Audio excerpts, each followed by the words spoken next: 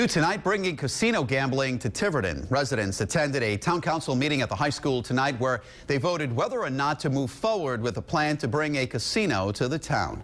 Eyewitness News reporter Kelly Sullivan was there. She joins us now with the outcome and reaction from taxpayers. A decent crowd of about 100 residents gathered inside the auditorium of Tiverton High School on Monday evening. About half are against a casino, about half are for it, but most of them agreed on one thing, and that is to let the voters decide.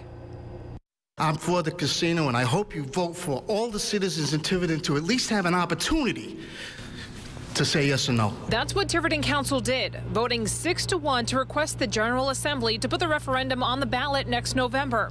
There were plenty, though, who opposed the idea of a casino. It's just not a good image for Tiverton. A dollar lost at a casino is a dollar that doesn't get spent for something tangible at Humphreys or Coastal Roasters or CVS.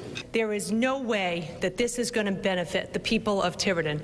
Your taxes are not going to go down. But others argued the proposed casino would give residents a tax break and also create jobs. I'm proud of what I do.